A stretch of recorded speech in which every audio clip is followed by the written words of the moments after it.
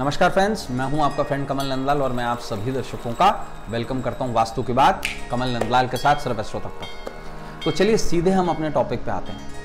और टॉपिक बहुत खास है।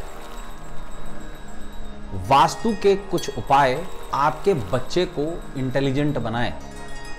दीपावली का वैसे भी सीज़न है। ये वास्तु के खास उपाय जो हैं, आपके बच्चे को इंटेलिजेंट बनाएँगे। इस पर सबसे पहले समझने वाली बात ये होगी कि ऐसा क्या है कि आपका बच्चा पड़ोसी के बच्चे से कम इंटेलिजेंट है? या आपका बच्चा क्लास में कुछ पीछे रह जाता है? क्या आपके बच्चे की परसेंटेज 90 परसेंट नहीं आ पाती? या आपका बच्चा वो नहीं कर पाता जो दूसरे बच्चे कर पाते हैं? कहीं ना कहीं कुछ दोष तो है। जी हाँ वो दोष है आपके घर के वास्तु में।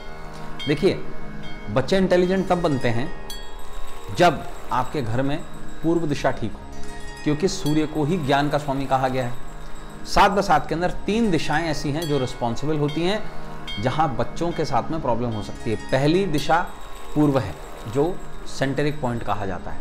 फिर पूर्व दिशा का नॉर्दर्न साइड और पूर्व दिशा का।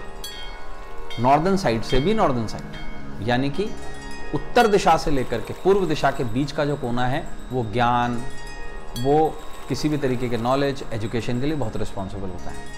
आपके घर की तीन दिशाओं में कहीं ना कहीं प्रॉब्लम होती है तो ही आपका बच्चा मार्क्स अच्छा नहीं ला पाता और इंटेलिजेंट नहीं बन पाता। पहली दिशा है पूर्व, दूसरी दिशा है उत्तर पूर्व, यानी कि बृहस्पति से संबंधित दिशा, और तीसरी दिशा है उत्तर इटसेल्फ तो ये जो ट्रांच है ट्रायंगुलर है, इसके बीच में ही कहीं वास्तु दोष होते हैं, जिसके कारण से बच्चा अच्छी तरह नहीं पढ़ पाता। क्या दोष होते हैं? पूर्व दिशा के अंदर अगर काले रंग का इस्तेमाल किया जाए, गहरे कलर का इस्तेमाल किया जाए उत्तर पूर्व दिशा के अंदर अगर कोई गंदा नाला हो टॉयलेट हो, अगर घर के सामने से नाली का पानी जमा हो रहा हो तो प्रॉब्लम आती है। अगर आपके घर का मंदिर ठीक ना हो तो प्रॉब्लम आती है। तीसरी चीज़, अगर उत्तर दिशा के अंदर बहुत ज़्यादा हरियाली ना हो, बहुत ज़्यादा फ्लैट एरिया हो, और वो एरिया थोड़ा सा ऊँचा हो तो प्रॉब्लम आती है। या उत्तर दिशा के अंदर कहीं कोई गंदगी हो तो प्रॉब्लम आती है। ऐसा क्या करें कि आपका बच्चा सुपर इंटेलिजेंट पड़ जाए? देखिए, ज्ञान की स्वामी स्वामिनी देवी सरस्वती कही गई है। तो एक बहुत छोटा सा उपाय ज़रूर आप कर सकते हैं।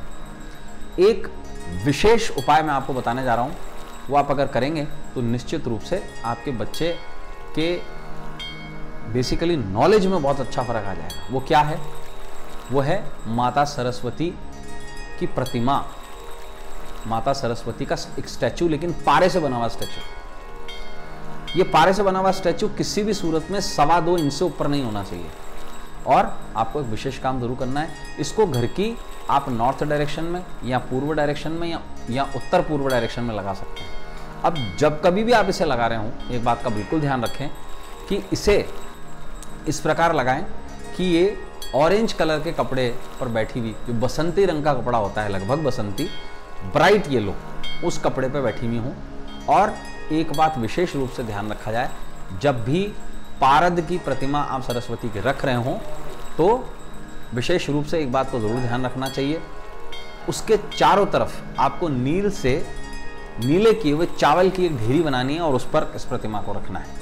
और रोज़ एक विशेष काम करना है कि एक मोर पंख लेके उस पर हवा करनी है तो आपका बच्चा भी सुपर इंटेलिजेंट बन जाएगा और आपके घर में इन तीनों दिशाओं के वास्तुदोष एजुकेशन के हिसाब से दूर हो जाएँगे। तो फ्रेंड्स, आज के लिए बस इतना ही। कल आपसे फिर मुलाकात होगी। तब तक देखते रहें। तक नमस्कार।